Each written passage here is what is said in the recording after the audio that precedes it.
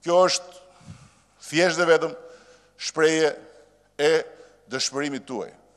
Dhe po të ishit kaq pasionantë për të luftuar krimin, për të luftuar korrupsionin, duhet të ishit ju që çdo ditë të rrinit te dera e Komisionit Parlamentar të Reformës në Drejtësi, dhe të prisnit para orarit zyrtar që të hapej dera, të uleshit aty dhe mos dilnit ditë natë për të bërë reformën drejtësi.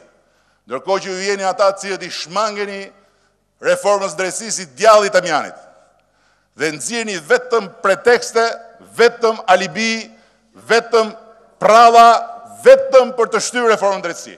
Dhe dje ishte e fundit. Nuk ka rëndësi koha, ka rëndësi cilësia.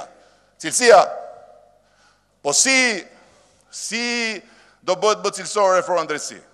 Duke mbyllur derën, siç mbyllet një shishe verë dhe duke e lënë të vjetrohet dhe të përmirësohet vetë. Cilësia, hajde pra, uluni në tavolinë dhe të punojmë bashkërisht për cilësinë. Dhe ju, I ikni reformës drejtësi, sepse reforma në drejtësi bën dy gjëra. E para e shemb piramidën e sotme të sistemit drejtësisë, përtokë që të gjithën.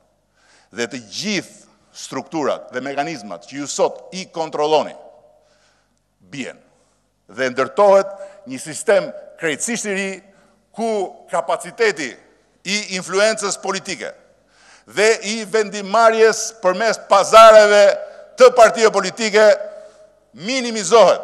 Dhe nga ana tjetër, promovimi i kujtdo në sistem nuk do bëhet duke peshkuar në kënetën tuaj, por do bëhet pasi të thahet këneta.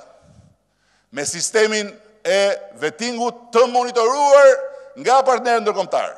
Këto dy shtylla të sistemit të ri të drejtësisë janë dhe dy arsyet themelore pse ju i ikni, e i ikni, e i ikni, e i ikni reformës në drejtësi.